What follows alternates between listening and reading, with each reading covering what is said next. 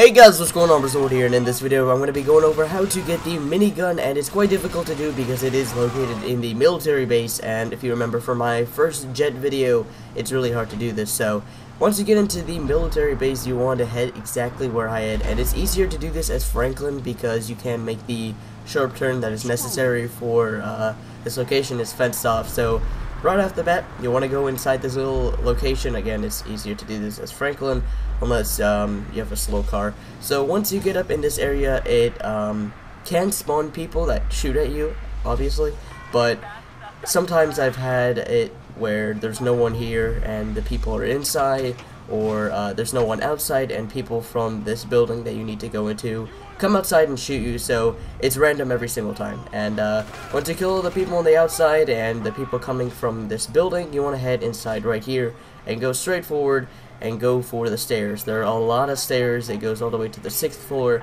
And once you're to the sixth floor, there can be people there, so watch out. I had to uh, kill the people there.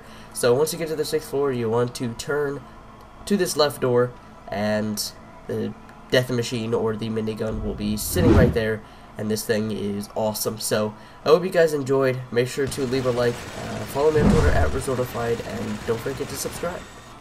Peace.